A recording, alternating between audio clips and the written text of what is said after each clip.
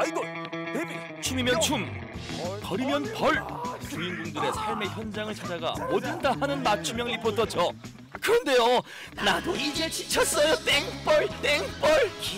아니 나도 그 우리 먹방 좌 선생님처럼 말이야 이 좋은 데 가가지고 야 먹방 크, 잘할 수 있어 내가 좀 힐링할 수 있는 거 어?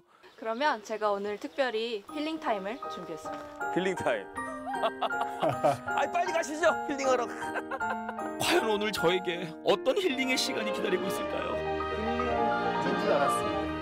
그래요? 뭔가 반전이 있어요? 힐링 리포터, 쉼 리포터를 꿈꾸는 저를 위해 제작진이 준비했다는 이곳. 나비인가요? 아 오늘 분명히 힐링인데 주제가 아 테라피 야 나무인데 야 하늘소 비단벌레 야 좀 쎄한데 좀 아유 아니, 먹방하고 좀 거리가 먼 거 아니에요? 뭐요 대체? 때마침 한쪽에서 작업을 하시는 분이 계셨는데요. 안녕하세요 아, 안녕하세요. 아이 또 앉으라고 네. 동생까지 아니 저 힐링하러 왔는데 그쵸. 아 오늘 힐링 네. 찜질이구나 네, 맞아요. 찜질. 찜질 네. 오늘 찜질인데 네. 아, 이거 한번 보세요. 여기 보시면은 어, 벌레 보이죠? 이거. 아 잠깐만 찜질 찜질 네? 찜질이라면서요 찜질. 한번 손을 한번 이렇게 넣어. 갑자기 거침없으신데요? 돌직구예요 갑자기 손 집어넣으시고 아 찜질 아니었어요? 아 이게 힐링이구나 이게 찜질을 할수 있는 기본 요건이 이게 잡아야 돼. 야. 아이 또 속았네 또 속았네 또 그런데 이게 끝이 아니었습니다. 자, 자, 한번 보십시다. 한번 지금 요게 한번 먹어봐요. 아, 오, 하나, 둘, 셋 하면 먹는 거예요. 하나, 둘, 셋. 아 이게 그 밀웜이군요 밀웜. 씹어야 먹어요. 씹어 먹어야 맛있어요. 아작아작 아. 아 화가 올라온다 피디님 먹어봐요 한번 난생 처음 맛본 밀웜. 아니 이 애벌레도 먹으라는 건 아니겠죠? 장수풍뎅이 애벌레 장수풍뎅 이. 이것도 식용으로 많이 먹긴 해요. 먹어요? 네, 몸에 건강 에 굉장히 좋답니다. 그렇구나 그래서 저한테 힐링이라고 아. 하셨구나 아, 요, 요게 그 우리가 먹는 쌀 있죠, 쌀. 쌀 응. 쌀 같은 거를 주식으로 먹기 때문에 깨끗해요. 굉장히 그래서 사람이 먹는데 아무 지장이 없고요. 굉장히 단백질이 많아가지고 건강식으로 최고입니다. 이뿐만 아니라 다양한 곤충과 볼거리 가득한 이곳. 이런 공간을 만든 분은 과연 어떤 분일지 궁금하시죠? 아, 저는 어, 대체남단 농장을 운영을 하고 있고요. 농장 속에 곤충이랑 여러 가지 일차 산업을 하고 있습니다. 오늘의 주인공은 바로 곤충 치유 농업인 오창학 대표입니다. 곤충의 아버지시군요. 농장에서 감귤을 친환경 유기농으로 재배하다 보니 자연스레 감귤 밭 주위에 다양한 곤충들이 모여들게 됐다는데요. 이를 계기로 곤충 체험 농장을 만들게 됐다고 합니다.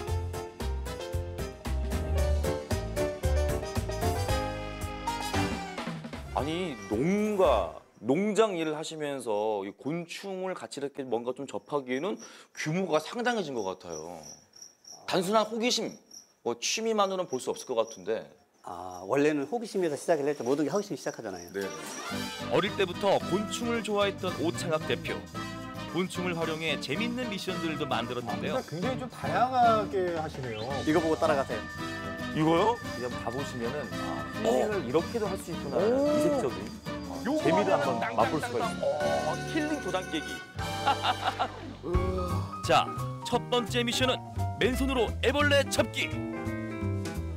어 느낌은 어 그 왕꿈틀 젤리 젤리 한 서른 개 잡아가지고 이렇게 있는 느낌. 여섯 개. 하나 둘 셋. 하나 둘 셋. 미션 완료. 두 번째 미션 장수풍뎅이 다리 세기.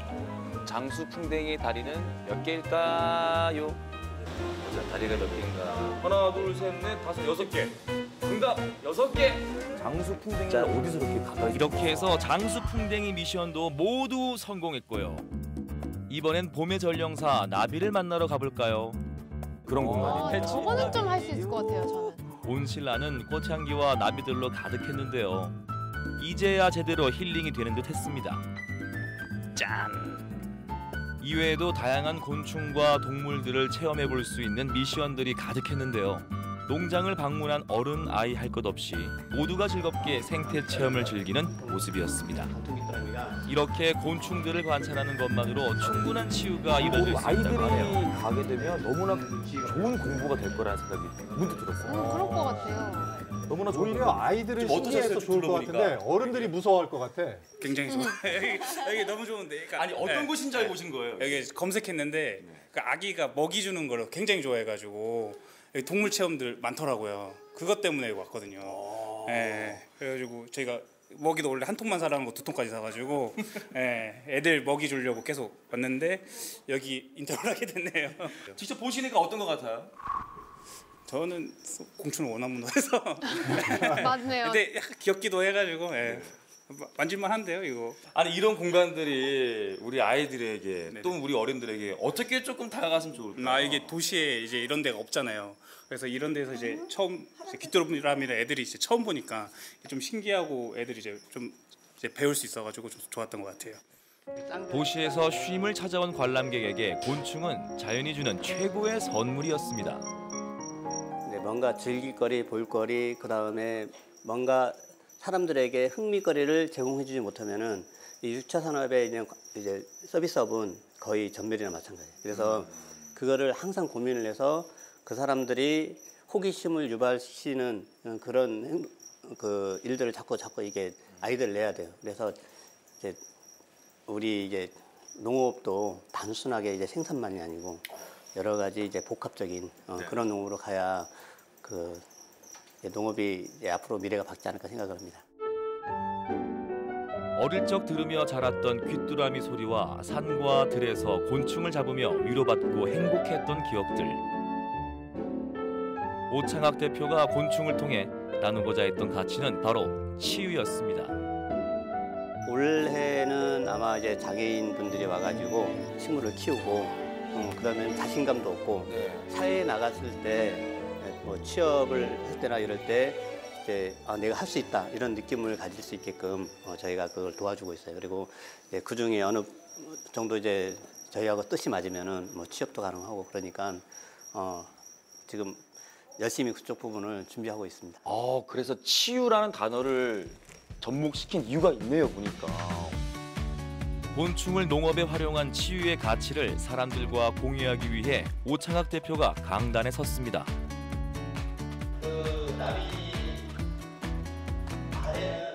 예비 농부들과 치유 곤충에 관심 있는 일반인들을 대상으로 곤충 바로 알기 특강 강사로 나서게 됐는데요. 농장이 아닌 강단에서 교육을 하는 건 처음이라는 오창학 대표. 그동안 생태공원을 조성해온 노하우와 사례들을 소개하는 시간도 가졌습니다. 곤충을 관찰하고 체험해보고 돌보면서 상호작용을 통해 즐거움과 심리적 안정감은 물론 사회성 향상에도 효과가 있다는 치유 곤충. 흔하기도 하고 크기도 작은 곤충의 무한한 매력에 모두들 빠져들었는데요. 앞으로 제주 농촌에 활력을 불어넣을 수 있는 곤충 산업의 가능성도 엿볼 수 있었던 뿌듯한 시간이었습니다.